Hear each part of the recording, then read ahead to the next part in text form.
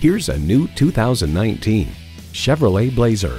It's built for rugged roads and conditions and dressed for the day-to-day.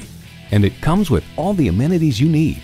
V6 engine, dual zone climate control, streaming audio, streaming video feed rear view mirror, heated steering wheel, power heated mirrors, external memory control, first and second row express open and close sliding and tilting sunroof, doors and push button start proximity key, and heated and ventilated leather bucket seats.